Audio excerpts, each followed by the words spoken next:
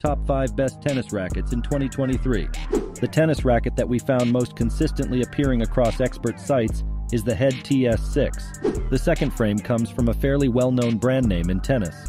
The Yonex E-Zone tennis rackets are among the top options you can get. The third entry on our list is the Wilson Pro Staff 97. These rackets are used by some of the biggest professional tennis players in the world. Coming in next is the Babolat Pure Aero tennis racket. Last among the top 5 list is the Wilson Clash 100.